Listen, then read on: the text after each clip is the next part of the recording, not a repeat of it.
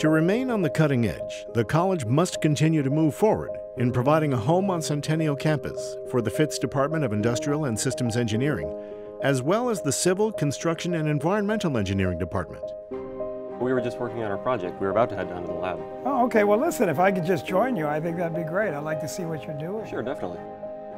Though the labs in Mann Hall have been a place of student achievement for many decades, growth is challenged by the limited space and aging facilities.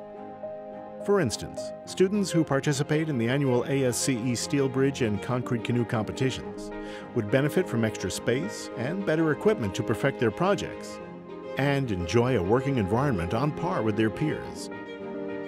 That's the whole idea. You know, what we really want to do is we want to provide these kind of spaces and opportunities and really the, the resources that come behind this to all of our students and our faculty. Right. It just makes a, a big, big difference, you know, here on Centennial. On top of that, just the opportunity to be on Centennial campus next to the other engineering buildings and have these beautiful spaces for our classrooms and our other laboratories.